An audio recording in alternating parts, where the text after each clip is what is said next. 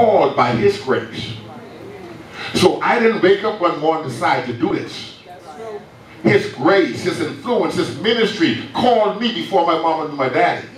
I'm going to teach this this morning. Somebody need to understand who you are. So my calling is by his grace, not my gift. Good Lord from Zion. My calling, my invitation. He didn't invite me because I was good. He didn't invite me because I could preach. He didn't invite me because I'm good looking. He invited me because he had a purpose. I'm called according to his purpose. Yes. Are you hearing me? But I'm called by his grace. So it wasn't nothing good I did. Come on, amen.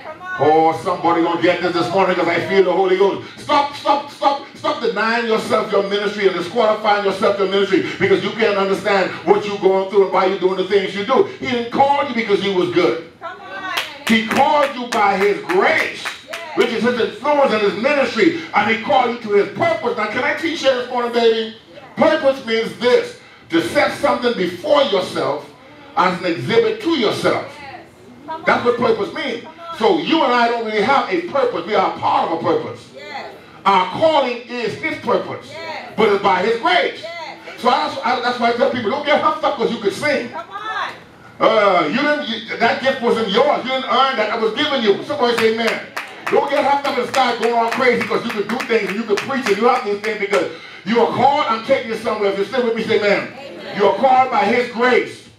That's his influence. You didn't earn it. Now you're called according to his purpose, which means that when God invited you, stay focused, gentlemen love. I want you to get his word into your spirit. When God invited you, Josh, he already had completed what he invited you into. Amen. Amen. Ah. Amen. Oh, glory. Somebody clap their hands this morning, man. Let me say it again. I want you to get this because it's easy to disqualify yourself in process. When God invited you, he invited you to a party that was already complete. Yes. He didn't invite you to try to make something up for your life when you come in. God help me right now. When he invited you, he knew what you were doing. He knew what family you came from. He knew what neighborhood that you came from. Why? Because he placed you in that family. He placed you in that neighborhood because something that happened there. So when he called you here, you'll be prepared to do what you have to do here. No matter how much they hurt you, it had a purpose. No matter who molested you, it had a purpose. No matter if your daddy left you, it had a purpose. No matter if your mother was an alcoholic, it had a purpose. He placed you in that family before the foundation of the world so that when he invited you in, your work would already be complete. But he had to prepare you before you got here so you could know what process is. Lord help me. Am I preaching good here? Somebody says it's all right. It's all right. No, say it's all right. It's all right. I didn't like it, but it's all right. I didn't like how it felt, but it's all right. I thought it was going to kill me, but it's all right. I'm still alive. I'm still here. So no matter what I went through, it's all right. I know that this by design. God, God didn't just make it up once I got saved. He didn't get angry and put me on, on drugs. He put me on drugs because I needed to be processed out of all my pride so I could come and preach the gospel to whoever he sent. God, I'm preaching too good. So I understand now this calling. Somebody say, I'm called. I'm called. Your calling is your ministry. It's your function, your purpose. That's why I say don't judge people when it comes to calling. Oh, God. Because everybody's ministry is not in church, y'all. Oh, man, I'm preaching too good. Somebody on this side say amen. amen. Somebody over here, please say amen. amen. Everybody's calling is not ministering in church. Some people are called to be doctors by God, called to be lawyers by God, called to be lawn caretakers by God, called to be carpenters by God. Jesus was a carpenter. Y'all ain't saying nothing. So some people, there's all you just because you're not in the pulpit. It does not mean you don't affect the kingdom. What you need to do is go on the world doing what you're doing and let them know that Jesus saved. And let them know that they have eternal life. You need to open your mouth and be a light wherever you go because your calling might be, Lord help me, some of y'all still in the living. Your calling might be at that club you at right now. Might be somebody that need to be saved. I know y'all can't stand this right here. I tell you what, we start witnesses at the club. After you done do the booty, the do the start witnesses and say, you know, we done dance right now, but let me tell you about Jesus. I'm still alive. Let me tell you about this Jesus I know. Y'all can't stand this guy of preaching. Somebody say, I'm. That's why I'm going through all this hell, because I'm called. It wasn't that I did nothing wrong. My purpose is about to come. My calling is about to be made manifest in God's purpose. That's why hell is breaking loose. That's why I can't understand what's going on. That's why everybody acting crazy and acting fool. I'm about to step into something. Somebody hold almost there. That's why I don't have time for your foolishness right now. I'm almost there. That's why I can't be distracted right now by gossip and craziness because I'm almost there. I got to focus on where I'm going because I'm almost there. I have an appointed time for everything in, my, in the calling of God for my life. So I'm always, so forgive me if I don't show up to the next prayer meeting. Forgive me if I'm not where you want me to be. When you want me to be there, I got to focus and stay focused on the promise because I'm almost there. Oh, I feel like preaching. I'm preaching to myself. You ought to go home after you give your offering, but I'm going to preach this anyhow. Amen. So I have a calling. This is, I'm getting good now. Somebody say I'm blessed. I'm blessed. Listen, if you don't get this part of it, what I'm going to tell you now not going to matter. You have to understand that your life is already perfected. Yes. Say I'm blessed. I'm blessed. You ain't doing all the right things as far as you understand, but you're still blessed. Amen. When you came through Christ, you became in blessed. So you have an inheritance and you have position. Let me tell you something. Let me tell you something. You have authority in your environment. Yes, yes. Boy, if I could preach this and get church for listen, it didn't matter what they said about you. Can I go deep with this now? It didn't matter who you slept with. You have authority. You had the authority before you went to the motel. Come on now, Pastor. And the motel don't take your authority away. You have authority by position. I done lost the whole group over here. So I came over here, some saved people. They, they still trying to get saved over here. Let me talk to y'all over here. See, the, the, the, motel don't take your authority away. The things you do does not take your authority away. Why? Because you didn't earn the authority. He gave it to you. Amen.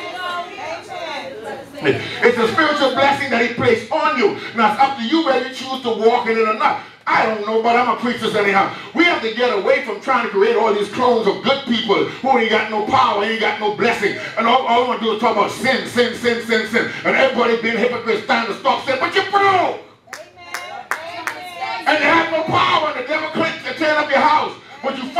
being good and not focus on who you really are. Somebody say amen. amen. So now can I move on to the real word? He made us a new creation. Somebody praying for me here which means that we are a, new, a new modern man in Christ. He's a new creature. Behold, all things are passed away now, all things become new. So now, this is my message this morning. Give me about 20 minutes and I'm done. I might get you, I might get you, I might get you, I might get you. Shamika, I might get you before you have to leave. Somebody say amen. Amen. You are a new model, right? Yes. Please see this, please hear me. Holy Ghost help me, I'm, I'm going to try to listen.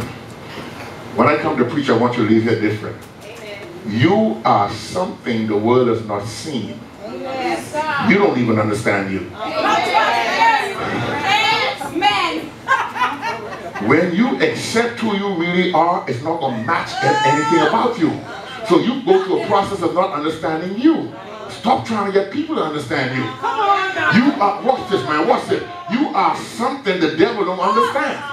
Because God protected you from him and saying, I got you, Charles. When he tripped you up, just confess. When he trip you up, just call on Jesus. He don't understand that, what, that he can't make you guilty unless you choose it. I'm I preaching good here? So I'm a new model, right? So I have a new handbook. God help me. I'm preaching good, y'all. It's something here called the New Testament, Josh. The New Testament was written for the new model. This New Testament, when Matthew starts, particularly starting in Roman, that's for you. All the other scriptures that show you the character of God. They're written for your learning, so they give you hope. But your contract, your covenant, starts at Matthew. Yes. So if you try to apply anything before Matthew, it's going to destroy the model. It's like trying to put diesel in a gas car. Yes. They both liquid, they both at the gas station, but if you put it in your car, it's going to destroy your car. That's why Paul said that Moses read, he put a veil over people's heart. Matthew, Mark, Luke, John, Romans. First and Second Corinthians, that's for you. Are you all here with me? So when, when, for the new model, it only gonna work when you come to Scripture because you are a spiritual being. The old covenant was written for people based on their works. Your covenant has been, been based on your belief. I am preaching good here. Somebody say amen. The old covenant is written based on what people were able to do. Your covenant say how much are you willing to believe. Come on. If you believe it, you don't have to try to perform it because it's already performed for you. Somebody say amen. amen. Now, how does this model work? I'm closing now, coming to my hoop. How does this model work? He gives instructions. Oh, God, I love Jesus. he gives instructions, which means the instructions come in his word. Yes. There's a parable, Demetrius, that Jesus did about the sower and the seed. And he said that a sower sows a seed, right? And some fall on good ground, stony ground, and uh, uh, some get choked in thorns, and some fall by the wayside. And I just want to use the by the wayside because it the message I have for you. when the word is released, he said the people by the wayside, the devil snatched the word because they didn't understand it.